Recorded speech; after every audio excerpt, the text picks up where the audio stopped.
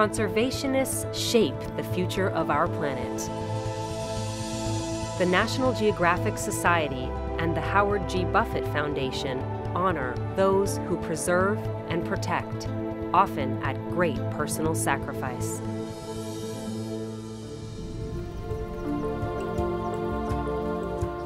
In 2015, we honor Dr. Roger Fotso, who has worked tirelessly to protect the wildlife and ecosystems of Cameroon. His work with local communities has led to the protection of the Oku Forest, home to more than 50 endemic species, helped save the world's rarest great ape, the critically endangered Cross River gorilla, and brought together unlikely partners to end the illegal wildlife trade.